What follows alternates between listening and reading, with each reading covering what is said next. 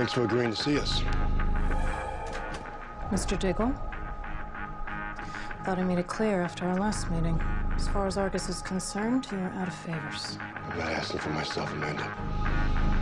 I'm asking for everyone in Starling City. I need you to find Oliver Queen.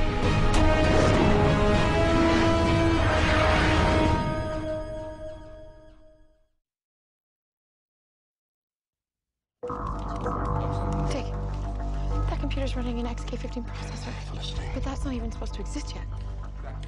I want one. Let me know what you find. I don't have time to keep track of your friends, Mr. Diggle. We deal with more pressing issues here. You don't understand. Oliver's disappeared. Maybe you need some time. Or is it possible that the two of you simply haven't been looking in the right place? Did you try facial recognition? Yes, I ran it three times. Amanda, please. Slade Wilson has an army of men just like him. How many men have been exposed to the Mirakuru? Enough to lay waste to this city. We need to find Oliver right now. I'll see what I can do. Is that the satellite frequency communicator TX50? Can I touch it? I know that sounds a little weird and creepy, but I've never seen one in real life. It's classified equipment, Miss Smoak.